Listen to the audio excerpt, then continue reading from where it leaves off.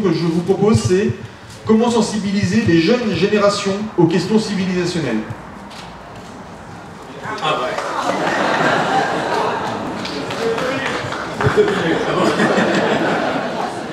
Mais je crois que la meilleure façon de les sensibiliser, c'est de leur faire ouvrir les yeux sur les désastres que produisent ces pensées clonées, que produisent euh, ce, relativisme devenu fou.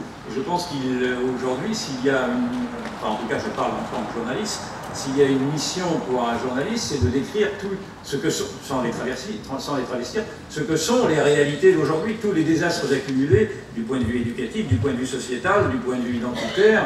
Et, euh, donc je pense qu'un esprit normalement constitué, s'il est, euh, est, éduqué avec un minimum d'esprit critique, critique, peut se rendre compte qu'il y a tout de même, dans ce monde merveilleux qui nous est proposé, beaucoup d'aberrations. Et je pense que la meilleure des solutions, mais je réponds très rapidement, et d'aller vers cette quête de la vérité, et en tout cas de se défaire de ce, de mur du mensonge euh, que je vous propose d'avoir.